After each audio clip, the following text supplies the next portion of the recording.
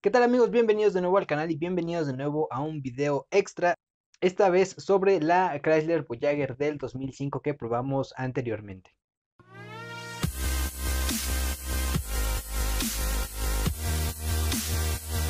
Bien, si son seguidores del canal sabrán que este tipo de videos eh, complementan a la reseña principal que sale los días domingos. El día de hoy estaremos hablando sobre algunas curiosidades de la Chrysler Voyager, y en general de la cuarta generación de las minivan de Chrysler o la plataforma RS como se conocía internamente. Empecemos hablando sobre las variantes de otros mercados de las minivanes. Y es que a lo largo de todas las generaciones de las minivanes de Chrysler se han posicionado como el producto con mejor aceptación en mercados europeos e incluso asiáticos de la marca americana. Esta cuarta generación de las minivanes se vendió en Europa como la Chrysler Voyager o Chrysler Grand Voyager.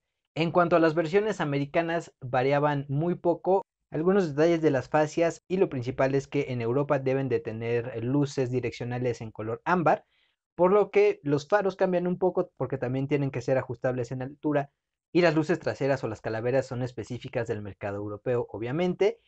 Además de que también por legislación deben de tener un pequeño marcador de direccional en la salpicadera. Aparte de eso, bueno, también había versiones con motores a diésel que son mucho más comunes en Europa. Ahora, de esta cuarta generación hay otra variante para otros mercados asiáticos que de hecho era construida en Taiwán. Y eh, es una mezcla rara de versiones porque las fascias delanteras, por ejemplo, eh, son muy similares a las que se comercializaban en Europa. Las parrillas como tal podían ser de Dodge Caravan o una parrilla especial de esta variante que se parecía más bien a las de Chrysler. En la parte trasera las calaveras eran, es así, de, la versión europea, digamos. Y la fascia trasera era única de, de esta versión asiática, pues no se compartía ni con la americana ni con la europea. Y como detalle incluía unos reflejantes en, cada extremo. Entonces, pues un tanto extraña esta versión. Ahora, dentro del mercado americano e incluso también se exportó hacia algunos mercados europeos, hubo una versión eh, muy poco conocida, porque en México de hecho no la conocimos, que es la versión de carga de estas minivanes. Desde la primera generación, en Estados Unidos se ofertó una variante, digamos, van de carga como tal.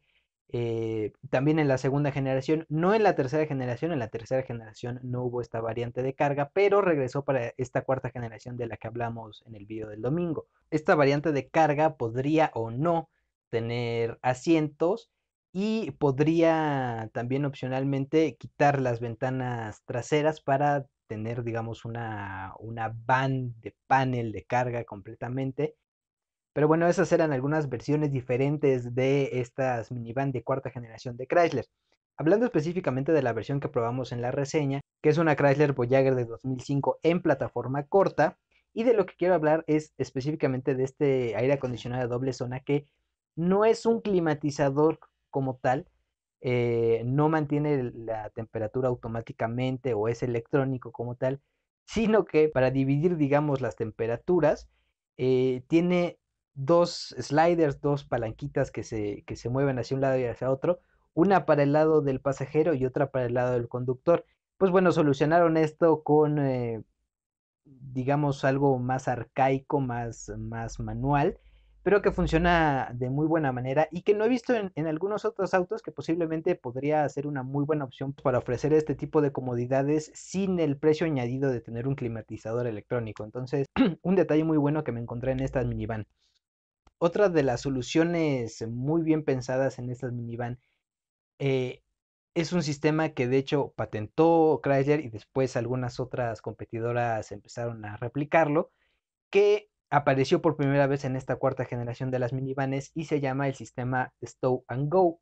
Este sistema lo que hacía es que se diseñaron unos compartimentos debajo del, piso de la, de la minivan en donde los asientos de la fila en medio podían guardarse hacia adelante y dejar un espacio completamente plano, y los asientos de la tercera fila de asientos, la banca eh, trasera, del lado del espacio de carga, pero igual dejando un piso completamente plano. También no hablé de ello en la reseña principal, porque este sistema estaba reservado para las versiones de plataforma larga de las minivanes. Es un sistema que eh, recuerdo haberlo visto cuando, cuando apareció en el mercado y me pareció una cosa totalmente revolucionaria, porque no es que tengas que guardar eh, los dos asientos del medio o toda la banca de la tercera fila, sino que puedes bajar, eh, digamos, el 40% de la banca de la banca trasera o el 60% para tener mucho más espacio de carga y aún así tener una configuración de 5 pasajeros. O puedes bajar los dos asientos del medio y tener la, banca trasera de 3 y tener igual 5 pasajeros. Bajar toda la, la, banca trasera y aún así llevar 4 pasajeros y muy buen espacio de carga. Es un sistema que de verdad ayuda muchísimo, digamos, a la practicidad de estas minivanes que de por sí ya son bastante prácticas. Eh, pero pues facilita muchísimo todo. Hablábamos de que en la Voyager que probamos se pueden recorrer los asientos, se pueden quitar los asientos eh, del medio y recorrer la banca trasera hacia adelante y seguir teniendo cinco, cinco espacios para ocupantes. Pero pues obviamente lleva un poco más de trabajo físico, ¿no? Retirar los asientos, cargarlos, bla, bla, bla. Y en el caso del sistema Stop and Go, pues con unos movimientos muy simples de palancas, de correas, se pueden guardar los asientos y no tienes que cargar nada, no tienes que almacenar tu asiento en el garage. Una de las razones por las que me gustan tanto las minivanes es porque son autos que tienen que estar muy bien pensados para transportar a una familia con necesidades muy específicas a veces. Eh, y las eh, soluciones de diseño que se encuentran para todos estos problemas, pues suelen hacerlos muy, muy interesantes. Y pues bueno, con eso vamos a dejar por aquí este video eh, extra de la Chrysler Voyager de las plataformas RS de las minivan de Chrysler. Eh, como siempre, muchas gracias por verme. Nos veremos en un próximo video el día domingo y hasta entonces.